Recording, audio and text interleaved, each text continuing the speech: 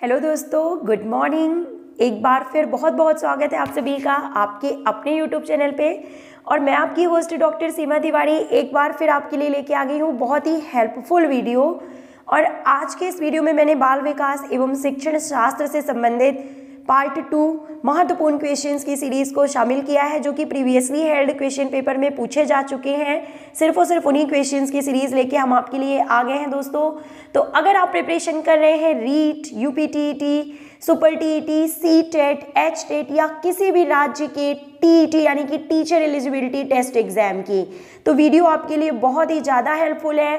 साथ ही साथ दोस्तों, आपको बता दें कि अगर आप किसी कॉम्पिटेटिव एग्ज़ाम की प्रिपरेशन कर रहे हैं टीचिंग से रिलेटेड तो उसमें भी आपको बाल विकास एवं शिक्षा शास्त्र से संबंधित नाइन टू टेन क्वेश्चन हर एग्ज़ाम में पूछे जाते हैं।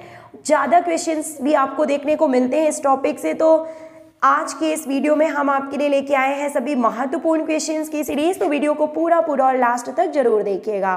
So let's start with question number one निम्नलिखित में से कौन सा मनोविज्ञान का संप्रदाय विचार ब्लैक बॉक्स थ्योरी के नाम से भी जाना जाता है। Means which of the following thought of school in psychology is also called as black box theory तो करेक्ट आंसर आप सभी ने गैसी कर लिया होगा। ऑप्शन नंबर वन यहाँ पे सही है, व्यवहारवाद के नाम से इसे जाना जाता है दोस्तों। व्यवहारवाद। व्यवहारवाद के प्रवर्तक जो है, वो हैं जॉन बी वॉटसन। आप सभी को पता है कि जॉन बी वॉटसन को व्यवहारवाद के संस्थापक के रूप में जाना जाता है। 1913 में जॉन हॉपिकन्स विश्वविद्यालय में इन्होंने इसकी खोज की थी, इसके बारे में बताया था। नंबर टू पे है, देखिए, संरचनावाद। और संरचनावाद के बारे में आपको बता दें कि स्वीडन के प्रसिद्ध भाषाविद फर्निनांद दी सस्योर के ने जो है संरचनावाद की स्थापना की थी या खोज की थी, इसके बारे में सबसे पहले बताया था। फर्नांद फर्नांद दी सोश्योर जी को इसके प्रवर्तक के रूप में जाना जाता है दोस्तों, संरचनावाद के। नंबर थ्री पे देखिए, प्रकार्यवाद है। प्रकार्यवाद से रिलेटेड क्वेश्चन पहले भी हमने आपको प्रीवियस वीडियो में करा दिया है कि विलियम जेम्स को प्रकार्यवाद के प्रवर्तक के रूप में जाना जाता है। और लास्ट में जो ऑप्शन है, उस, वो तो आप सभी को पता है कि गेस्टाल्टवाद के प्रवर्तक हैं वर्दी मर्क को एनकोफा। तो दोस्तों, इस तरह से ये सभी जो एक क्वेश्चन के जो ऑप्शंस होते हैं, उसको भी आपको पूरा पूरा सॉल्व करना चाहिए। उससे रिलेटेड इन्फॉर्मेशन भी आपको होनी चाहिए। यही आपको सही तैयारी करने का तरीका होता है। मूव करते हैं हम नेक्स्ट क्वेश्चन की ओर, कि निम्नलिखित में से कौन सा, निम्नलिखित में से कौन सा अच्छे मानसिक स्वास्थ्य का लक्षण नहीं है? Which of the following is not the characteristic of good mental health and correct answer is option number four यानी कि असहनशीलता मीन्स इनटॉलरेंस जी हाँ दोस्तों, जो एक हेल्दी इंडिविजुअल होता है, आप सभी को पता है तो वो होता है physically mentally and socially fit और अगर हम बात करें कि आप कितना भी फिजिकली फिट हैं और मेंटली नहीं फिट है, आपके जो विचार हैं वो अच्छे नहीं हैं, आप अंदर से पॉजिटिव नहीं है निगेटिविटी से भरे हुए हैं डिप्रेशन में हैं ओवर एंजाइटी के शिकार हैं तो आप एक अच्छे हेल्दी इंडिविजुअल के दायरे में बिल्कुल नहीं आते हैं। तो बहुत ही अच्छा क्वेश्चन पूछा गया है कि मानसिक स्वास्थ्य का लक्षण निम्न में से कौन सा नहीं है। तो आपको बताना है कि कौन सा ऐसा क्राइटेरिया है जो कि बताता है कि आप आप ये कि ये ऐसा फीचर है जो मेंटली हेल्दी इंडिविजुअल्स में नहीं होना चाहिए, ये आपको बताना है। तो देखिए ability to adjust mental health का फीचर होता है, बिल्कुल। समायोजन की योग्यता, किसी भी परिस्थिति में प्रॉब्लम आ जाए तो आपको समायोजन की क्षमता होनी चाहिए। ये एक मेंटल हेल्थ का फीचर है। नंबर टू संवेगात्मक परिपक्वता, यानी कि इमोशनल मेच्योरिटी बिल्कुल मेंटल हेल्थ में आता है ये ये पॉइंट ये फीचर आता है। क्यों? क्योंकि इमोशनली मैच्योर होना बहुत ज़रूरी है, संवेगात्मक रूप से परिपक्व होना बहुत ज़रूरी है, ताकि कितनी भी कठिन परिस्थिति आ जाए, विषम परिस्थिति आ जाए या कितनी भी अनुकूल सॉरी प्रतिकूल परिस्थितियाँ बन जाएँ तो या आपको जीवन में हार का सामना पड़ जाए तो अगर आप इमोशनली मैच्योर नहीं हैं तो आप जो है, कहीं ना कहीं आप प्रॉब्लम में आ सकते हैं तो संवेगात्मक परिपक्वता भी जो है, वो बहुत ज़रूरी है। सेल्फ कॉन्फिडेंस तो सक्सेस ऑफ़ की आप कह सकते हैं। हार्ड वर्क के साथ साथ self confidence is the success to key success key to success sorry यानी कि सफलता की कुंजी ही है आत्मविश्वास। यानी कि जब आप खुद से ही विश्वास नहीं है, आपको ही अपने टैलेंट पे विश्वास नहीं है, आप खुद अपने को किसी भी काम को करने के काबिल नहीं समझते हैं तो दुनिया आप पे विश्वास कैसे करेगी दोस्तों?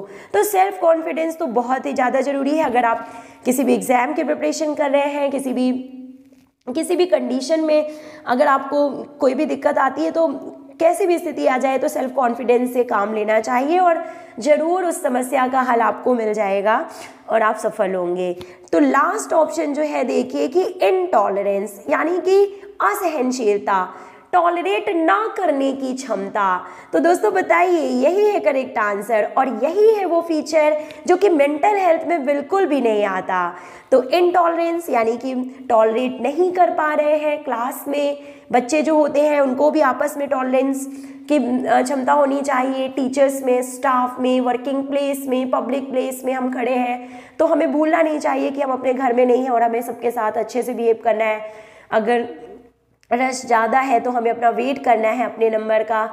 उसके लिए लड़ाई झगड़ा नहीं करना है, बहुत सी चीज़ें, बहुत से एग्ज़ाम्पल ऐसे हैं जो इनटॉलरेंस और टॉलरेंस को आपको अच्छे से समझाने के लिए हेल्पफुल होंगे। तो आप समझ गए होंगे इतने एग्ज़ाम्पल से दोस्तों कि हमें टॉलरेट करने की क्षमता हमारे अंदर होनी चाहिए। तो ये इनटॉलरेंस जो है, ये एक मेंटल हेल्थ का फीचर बिल्कुल नहीं है। मूव करते हैं हम नेक्स्ट क्वेश्चन की ओर कि कैटल संस्कृति मुक्त बुद्धि परीक्षण की मापनी फ़र्स्ट किसके लिए बनाई गई थी? और देखिए, बहुत ही अच्छा इंपॉर्टेंट क्वेश्चन है स्क्रीन पे कि Cattell culture free intelligence test का जो स्केल फ़र्स्ट था, वो किसके किसके लिए प्रिपेयर किया गया था? ऑप्शन नंबर टू यहाँ पे सही है। Four to eight years mental deficient person यानी कि चार से आठ वर्ष के मानसिक दोष वाले व्यक्तियों के लिए ये स्केल फ़र्स्ट यूज़ किया गया था। दोस्तों, संस्कृति निष्पक्ष परीक्षण, जिसे संस्कृति मुक्त परीक्षण भी कहा जाता है, इस नाम से भी इसे जाना जाता है। तो किसी भी जो व्यक्ति, व्यक्तिगत या सांस्कृतिक समूह के लिए विशिष्ट ज्ञान पर भरोसा किए बिना या बुद्धि या अन्य विशेषताओं का आकलन करने के लिए तैयार किया गया था ये परीक्षण और इसे अशाब्दिक परीक्षण के रूप में भी जाना जाता है। नेक्स्ट क्वेश्चन देखिए कि कौन सा रचनात्मकता की प्रक्रिया के लिए सही तार्किक क्रम है? ऑप्शन नंबर थ्री यहाँ पे करेक्ट है। प्रिपरेशन यानी कि प्लानिंग सबसे पहले, उसके बाद इंक्यूबेशन यानी कि परिपाक देन इंसाइट यानी कि अंतर्दृष्टि, और लास्ट में आता है वेरिफिकेशन तो ये बिल्कुल सही सीक्वेंस है लॉजिकल ऑर्डर है ये। For the process of creativity सृजनात्मकता, या रचनात्मकता दोस्तों इंपॉर्टेंट टॉपिक है। आजकल एक क्वेश्चन इससे ज़रूर पूछा जाता है। तो प्रोसेस ऑफ़ क्रिएटिविटी के लिए जो लॉजिकल ऑर्डर है, वो है number three next question is asking निम्नलिखित में से कौन सा पद क्रिया प्रसूत अनुबंध से संबंधित नहीं है? Which of the following term is not related with operant conditioning theory और ऑपरेंट कंडीशनिंग तो क्या होगा दोस्तों, सही आंसर यहाँ पे? Option number one is correct here insight यानी कि अंतर्दृष्टि इज़ नॉट करेक्ट ईयर तो देखिए दोस्तों correct answer is option number one तो देखिए, जो ऑपरेंट कंडीशनिंग थ्योरी की अगर हम बात कर लें तो इसे स्किनर ने प्रतिपादित किया था। बी एफ़ स्किनर इसके प्रतिपादक है। क्रिया प्रसूत का, क्रिया क्रिया प्रसूत अनुकूलन का सिद्धांत जो दिया गया था, वो बी एफ़ स्किनर जी के द्वारा दिया गया था और यह सिद्धांत सकारात्मक परिणामों से मिलने वाले पुनर्बलन पर बल देता है। किस पर बल देता है? देखिए, पुनर्बलन पर बल देता है जो सीखने वाले की क्रिया को गति देने में सहायक होते हैं। और अगर हम बताएँ, आपको सिंपल वर्ड्स में बताएँ तो क्या होता है कि यदि किसी भी क्रिया के बाद कोई बल प्रदान करने वाला उद्दीपन मिलता है तो उस क्रिया शक्ति में वृद्धि होती है। तो इसे री थ्योरी भी कहते हैं और इसमें स्पॉन्टेनियस रिकवरी होती है। ये सही ऑप्शन है यहाँ पे। ठीक है मूव करते हैं नेक्स्ट क्वेश्चन की ओर। और देखिए, अंतर्दृष्टि का, सूझबूझ का सिद्धांत जो है वो पावलाव जी के द्वारा दिया गया था। तो ये यहाँ पे जो है ऑपरेंट कंडीशनिंग का भाग नहीं है। नेक्स्ट क्वेश्चन वे बच्चे जो विभिन्न प्रकार की अधिगम समस्याओं से ग्रसित रहते हैं, उनके लिए अधिगम अक्षम। अधिगम अक्षम का मतलब क्या होगा? देखिए डिसेबल्ड लर्निंग डिसेबल वर्ड का प्रयोग सर्वप्रथम किसने किया था? Learning disable word was first use by option number two is correct here Samuel Kirk Kirk is correct answer okay next निम्नलिखित में से कौन सा मनोवैज्ञानिक आत्मा सॉरी निम्नलिखित में से कौन सा मनोवैज्ञानिक आत्मा के विज्ञान के रूप में मनोविज्ञान का समर्थक नहीं है। यानी कि ये ऑप्शंस में से जो तीन मनोवैज्ञानिक हैं, वो आत्मा के आत्मा के विज्ञान के रूप में मनोविज्ञान को मानते हैं, लेकिन एक मनोवैज्ञानिक ऐसा है जो आत्मा के विज्ञान के रूप में मनोविज्ञान को नहीं मानता है। तो ऑप्शन नंबर फोर यहाँ पे करेक्ट है वुंट इज़ करेक्ट आंसर इसके अलावा प्लेटो, अरस्तु एवं डेकार्टिस जो है, ये सभी मनोविज्ञान को जो है आत्मा के विज्ञान के रूप में जानते हैं। नेक्स्ट देखिए, मनोविज्ञान की कौन सी शाखा में टेलीपैथी, पुनर्जन्म जैसे क्षेत्रों का अध्ययन किया जाता है? तो option number three is correct here अतीन्द्री यानी कि पैरा पैरापसाइकोलॉजी जो है, ये यहाँ पे सही आंसर है कि इसी शाखा में टेलीपैथी पुनर्जन्म जैसे क्षेत्रों का अध्ययन किया जाता है। ओके नेक्स्ट क्वेश्चन जीन पियाजे के अनुसार बालक कौन सी अवस्था में परिकल्पनाओं को समझने की तथा तार्किक वाक्यों के आधार पर विचार करने की योग्यता प्राप्त कर लेता है। तो option number four is correct here eleven to fifteen years Jean पियाजे का संज्ञानात्मक सिद्धांत के बारे में तो दोस्तों आपने सुना ही होगा कि जीन पियाजे ने व्यापक स्तर पर संज्ञानात्मक विकास का अध्ययन किया। और इनके सिद्धांत को विकासात्मक सिद्धांत भी कहते हैं। और इनके अनुसार जो बालक के भीतर संज्ञान, यानी कि कॉग्निटिव डेवलपमेंट होता है, वो अनेक स्टेट्स अनेक स्टेजेस से होकर गुजरता है और इन्हीं स्टेजेस को स्टेज थ्योरी के नाम से भी जाना जाता है और चार स्टेजेस के बारे में बताया था जीन पियाजे जी ने दोस्तों। आपको पता ही होगा सेंसरी मोटर नंबर वन संवेदी पेशी अवस्था, यानी कि जन्म से दो वर्ष। नंबर टू पूर्व संक्रियात्मक, यानी कि प्री ऑपरेशनल स्टेज दो से सात वर्ष। देन मूर्त संक्रियात्मक, यानी कि कंक्रीट ऑपरेशनल स्टेज सात से बारह वर्ष। और अमूर्त संक्रियात्मक अवस्था यानी कि 12 से 15 वर्ष, जिसकी यहाँ पे बात की गई है क्वेश्चन नंबर फोर में। Option number four is correct answer अमूर्त संक्रियात्मक अवस्था के नाम से भी इसे जाना जाता है, जिसमें बालक परिकल्पनाओं को समझने की तथा तार्किक वाक्यों के आधार पर विचार करने की योग्यता प्राप्त कर लेता है।